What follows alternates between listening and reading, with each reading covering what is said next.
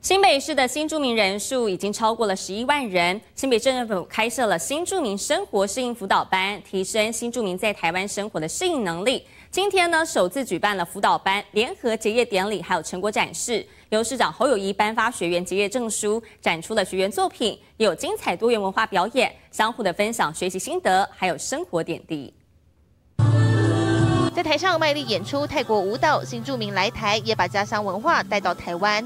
定居新北市的新住民超过十一万人。新北市民政局开设新住民生活适应辅导班，十六号上午举办辅导班联合结业典礼和成果展，市长侯友谊也到场。我们有七个新住民的学习中心，各位可以随时去学习。今天的生活适应辅导班。就是我们的起点，下一代的新住民永远是最有竞争力的。市长一定会跟新住民站在一块。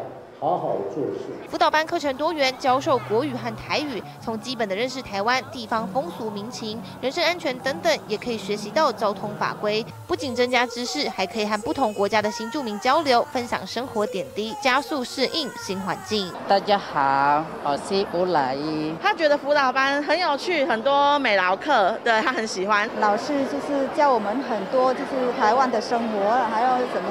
家里照顾小孩啊！辅导班成果展，新著名展现创意，有各种不同的手工作品，也展现多元文化，碰撞出灿烂的火花。记者傅南张世奎新北朝报道。